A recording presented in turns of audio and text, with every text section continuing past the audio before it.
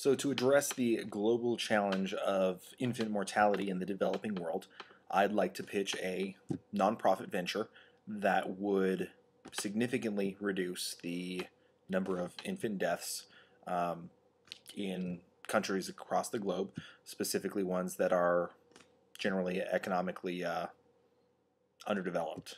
Uh, typically, countries in Southeast Asia, uh, Sub Saharan Africa, pretty much anything south of the equator. The company itself would, again, be a nonprofit relying a lot, primarily on donations, um, and we would supply a uh, care kit of sorts that would be tailored to um, the community in which we were working in, that would supply items designed to mitigate the risk factors commonly associated with infant mortality. Uh, some of the biggest risks are um, poor nutrition, uh, diarrhea from unclean water sources, um, infection, and uh, some birth related causes that would be difficult to address, um, but we'll still make a good attempt. Um, the kit itself would be something like a, uh, a box um, filled with informational materials, um, training materials for local communities and, and parents and uh, families, uh, as well as things like antibiotics, antidiarrheals, um, and some more practical items, uh, mosquito netting, um, anti-malaria drugs, um, and even uh,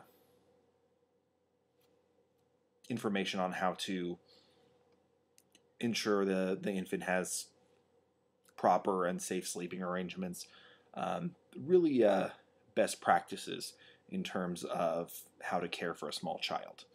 Uh, the packaging itself um, could double as a, a, bassinet of sorts.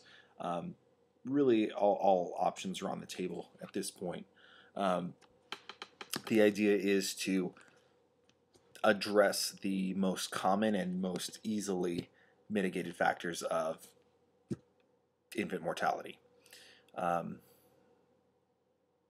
and when you think about it, it's an achievable goal.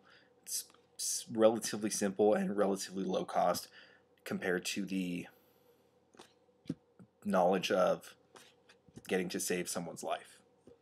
Uh, and, and, really, the, the beneficiaries of this wouldn't just be the, the life you save, but really the communities, the families, and the the, the nations and even the, world that would uh, benefit from having that human capital um, available.